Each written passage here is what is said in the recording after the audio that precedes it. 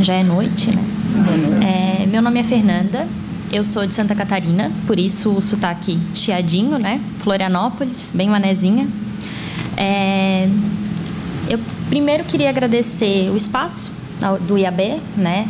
Em nome da presidente que estava aqui, a Débora, presidente da nossa Comissão da Mulher, que foi quem deu o pontapé para a gente fazer esse evento e ela tem realmente é, idealizado alguns eventos assim muito interessantes e dentro da comissão a gente sempre debate é, a questão da mulher de maneira profunda e através dessas, é, desses espaços que a Débora cria. Bom, a Débora já adiantou um tanto. É, eu fiz mestrado em Ciências Jurídicas lá em Santa Catarina, em Itajaí, e comecei a estudar sobre as, a questão das violências contra as mulheres desde a graduação. O meu TCC foi sobre estupro marital e analisei uma decisão à época. E durante o mestrado queriam que eu fizesse em direito ambiental e eu não suportava assim a ideia, né? Porque imagina, nada perto daquilo que eu gostava. E no final deu certo a questão de violências contra a mulher e novas tecnologias, especificamente inteligência artificial. E assim, eu sempre tive uma angústia muito grande com a questão, estudando a questão das violências contra as mulheres, porque a gente tem uma legislação muito bem escrita. A Lei Maria da Penha ela traz alguns mecanismos é, de combate à questão da violência, mas ela tem uma dificuldade de ser efetiva. Né? Vocês devem saber disso muito melhor do que eu. Efetivar a lei é uma dificuldade muito grande. É, controlar medidas protetivas é muito complicado. Eu não, o meu estudo foi específico em Santa Catarina, então lá os dados são assustadores.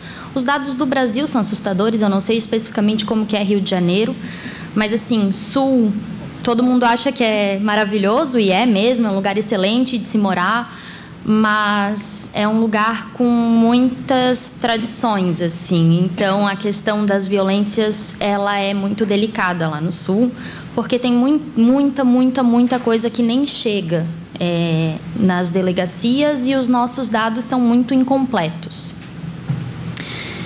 E as violências elas são assim plurais, né? Isso a gente sabe. Vocês todas é, estudam a questão das violências também e enfim, a gente começou a estudar isso no mestrado e a minha angústia sempre foi essa, assim, de é, beleza, a gente está aqui estudando e o que que a gente vai fazer com isso? Porque eu sempre tive muita dificuldade de ficar só no, no teórico. É, e essa foi a maior dificuldade de fazer um mestrado, né? Porque é, é absolutamente teórico.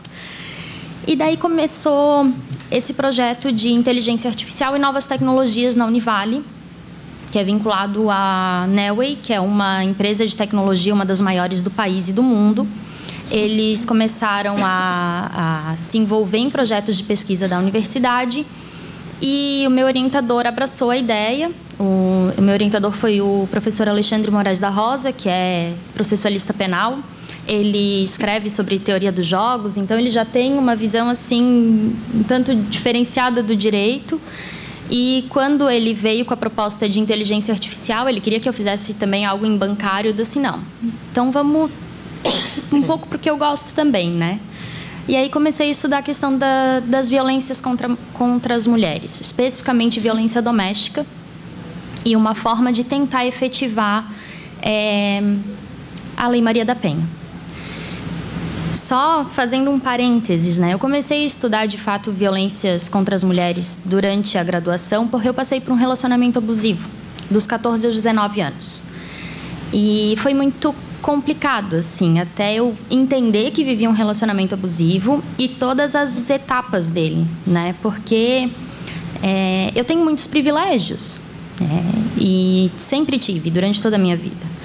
Eu tive o privilégio, inclusive, de ser criada numa família muito tranquila, muito aberta. É, eu sempre, o meu pai sempre foi uma pessoa muito aberta, minha mãe também. Eu sempre pude, sim, ter o carro para sair, enfim, uma série de coisas. E eles sempre me incentivaram muito a estudar, a criar minha vida, a, ser independente. E mesmo assim, eu me vi é, fazendo direito, dentro de um relacionamento abusivo e que eu não sabia nem como sair daquilo. Eu, fiquei, eu fui noiva desse rapaz. Eu terminei um noivado com 19 anos de idade. E quando eu entendi que aquilo era de fato um relacionamento abusivo, eu precisava é, entender de fato assim tudo o que aconteceu, né? E por que, como que eu passei por aquilo, enfim. E aí comecei a estudar. E eu gosto de contar isso e de falar disso, porque tem muita gente que acha que isso a gente ouve com constância assim, né? Que mulher fica em relacionamento abusivo porque quer, é, gosta de apanhar, aqueles clichês que muita gente reproduz. E assim, é, é, vai tão além desse debate raso, né? Eu tive Deixa eu dar uma interrompida. Acabou de chegar aqui quem faltava na mesa. Tinha a nossa queridíssima doutora Adriana Mello. Adriana, acompanha aqui a mesa com a gente, por favor. Aí chegou a nossa juíza. Vai participar da sua. Sim, é, é saudade. Podemos... Oi, Débora, um beijo, licença, desculpa. Imagina. Um beijo, perdão, desculpa. Podemos continuar? Então vai. Vai, Fernanda. É, Desculpa. Não, só voltando aqui. É, imagina. E, e daí, a partir de tudo isso e, e pensando essas questões de efetivação da lei de violência doméstica, comecei a estudar a inteligência artificial. A inteligência artificial no direito ela já existe, já está sendo utilizada. É, a gente tem o Victor, por exemplo, no STF, que é uma inteligência artificial desenvolvida pela Universidade de Brasília, especificamente para o STF, que ele faz análise de admissibilidade de recursos. Então, é uma máquina que consegue aprender, que consegue ler peças, que consegue entender peças. É, existe inteligência artificial que hoje ajuda na advocacia, a IBM é, tem isso muito forte. Eles utilizaram a plataforma do Watson e transformaram no Ross ou na Carol, que é usada aqui no Brasil por alguns escritórios é, de advocacia, e isso faz uma diferença substancial nos, nos escritórios, porque tem é, tem escritórios que reduziram assim 80% o quadro de advogados depois da utilização dessas inteligências artificiais que conseguem também ler acórdãos, decisões, interpretar é, inclusive montar minuta de, de, de peças. Então, assim, são, são coisas que já estão acontecendo, que já existem, que não são absolutamente divulgadas, porque ainda é algo caro e que está sendo melhor desenvolvido, né? Mas são coisas que estão aí. Existe uma diferenciação é, em, dentro da inteligência artificial entre a inteligência artificial forte e a fraca. A forte seria para substituir um humano, assim. Então, pegaria o, o advogado e ele seria totalmente substituído pela inteligência artificial forte. Isso ainda não existe.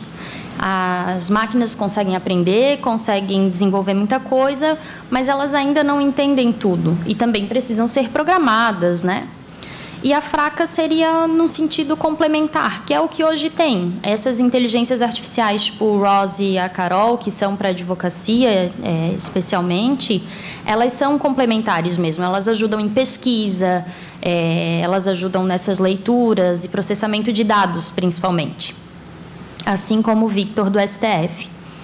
E daí, pensando nisso tudo, eu desenvolvi um aplicativo, um software de proteção, na verdade ele é para controle de medida protetiva, funciona com geolocalização e com inteligência artificial. É, a ideia é que ele tenha três interfaces, então uma para a vítima, uma para o agressor e uma para o Estado, de uso facultativo, é claro, porque a gente não pode, eu acredito né, que a gente não pode obrigar ninguém a nada, nem vítima nem agressor, nesse caso. E seria um aplicativo de fato para celular, assim. A pessoa baixa o aplicativo e faz o controle através de geolocalização, de movimentação, de para medidas de afastamento, né, especificamente. E a ideia é que, daí, incluindo a inteligência artificial, que é, o, o software tem acesso ao processo. Então, que ele saiba ler o processo e identificar se teve qualquer alteração na medida protetiva, para que ele mesmo se alimente. É, e daí, claro, foi, a gente foi pensando em uma série de problemas que poderiam acontecer para tentar minimizá-los, assim. Então, funcionaria com reconhecimento facial, porque, claro, o, agressor poderia deixar o telefone em casa, então precisaria de uma forma de evitar isso. Aí a gente pensou em fazer, hoje praticamente todo celular tem câmera, e, e, então, com reconhecimento facial, se apresentando, a pessoa se apresenta de tempos em tempos, não num horário determinado, a cada meia hora, porque daí se programa também, né? Mas em horários alternativos, a pessoa se apresenta para que o aplicativo reconheça que é o próprio agressor que está com o celular em mãos. E em Santa Catarina, nós temos um programa da Polícia Militar que é chamado de Programa Bem TV. É, tem várias câmeras é, nas ruas para controle controle da população, assim, basicamente, né? Eles controlam. A ideia do programa é ter uma. Ele tem três objetivos, assim. Ele está em fase inicial ainda, mas as câmeras já estão instaladas em praticamente todas as cidades do estado. E a ideia é que o aplicativo ele converse com esse programa Bem TV para permitir que essa conferência de geolocalização ela aconteça de forma mais segura. Então, se ah, no celular diz que o agressor está na rua X, a gente consegue conferir pelo programa Bem TV se ele está de fato lá. É, claro, ele emitiria um alarme sonoro se tivessem perto de descumprir medida protetiva, porque daí isso também é, desestimula um tanto né, esse descumprimento.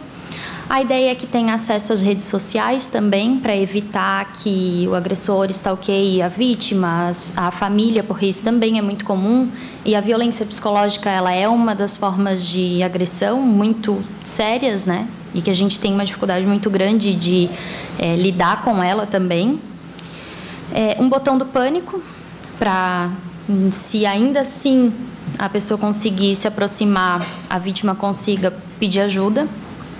E principalmente um chatbots, que é uma inteligência artificial ensinada a conversar em linguagem natural, que é como se a gente estivesse conversando com outra pessoa, tanto com a vítima para auxiliá-la e para é, encaminhá-la para a rede de atendimento, quanto com o agressor para também ensiná-lo um tanto sobre feminismos e sobre violências e para que é, porque muita gente às vezes tem até vergonha de de falar sobre isso, de reconhecer que está passando por um processo, que, enfim, né? E ali seria uma forma de entrada e de encaminhamento também, né? Para grupos de ajuda, para, é, enfim, todos os atendimentos que a rede pode é, proporcionar.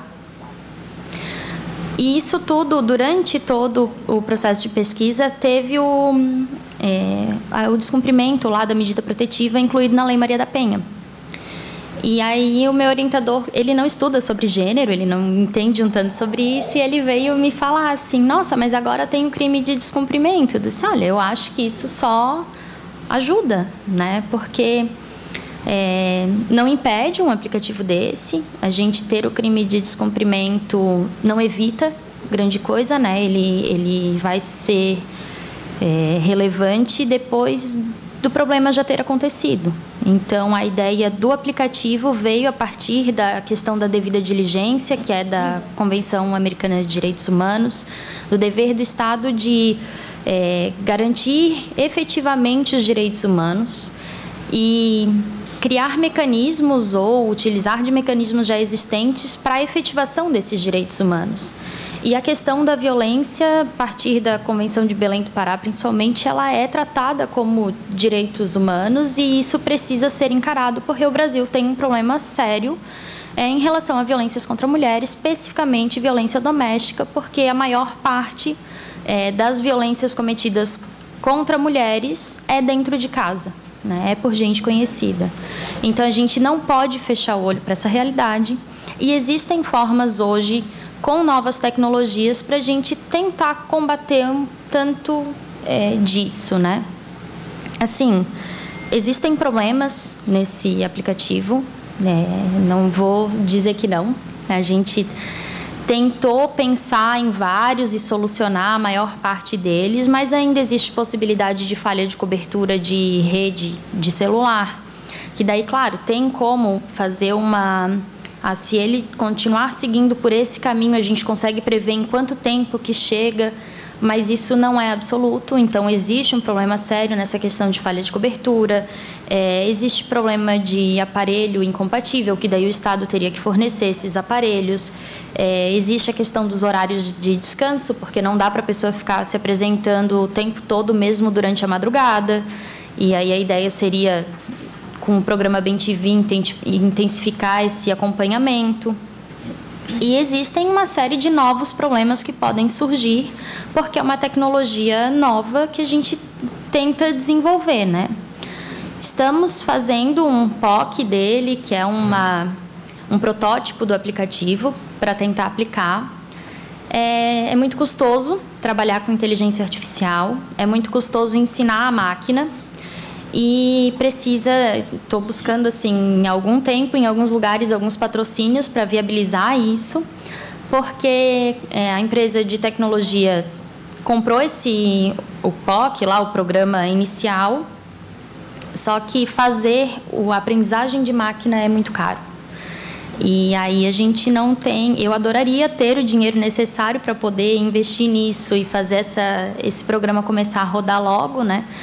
Mas, enfim, a gente está em negociação com o Poder Judiciário de Santa Catarina, a gente está em negociação com algumas empresas para patrocinarem isso, para tentar minimizar, pelo menos, essas questões das violências domésticas, porque é algo que já vai atuar depois de ter uma medida protetiva. Então, ele não é nem é, tão antecipativo assim, digamos assim. Mas, assim, a gente pode tentar minimizar algumas coisas. Né? Durante a pesquisa, eu fiz algumas análise, análises e algumas pesquisas de descumprimento de medida e é muito comum. E é, fiz lá em Santa Catarina, né? E alguma, algumas mulheres, assim, algumas, muitas mulheres foram mortas em caso de descumprimento de medida protetiva. E o aplicativo ele vem para tentar evitar isso, né? Porque é um crime anunciado a gente já sabe, a pessoa tem uma medida protetiva e é um crime anunciado que está ali. Então, é, o Estado tem o dever de tentar minimizar isso. A gente tem alguns programas lá em Santa Catarina, a gente tem a Rede Catarina de Proteção à Mulher, em que a Polícia Militar faz rondas, então eles vão conferindo se aquela mulher está bem. Mas, assim, é, a polícia, a guarda e a polícia passam uma vez por semana na casa da pessoa. Já é bastante. Muita gente nem faz isso. Mas, enfim, é, tem outras formas, né? Era isso. Muito obrigada. Obrigada a você.